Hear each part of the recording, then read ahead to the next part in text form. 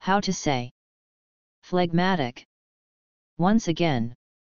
Phlegmatic. Congratulations, I have many more videos.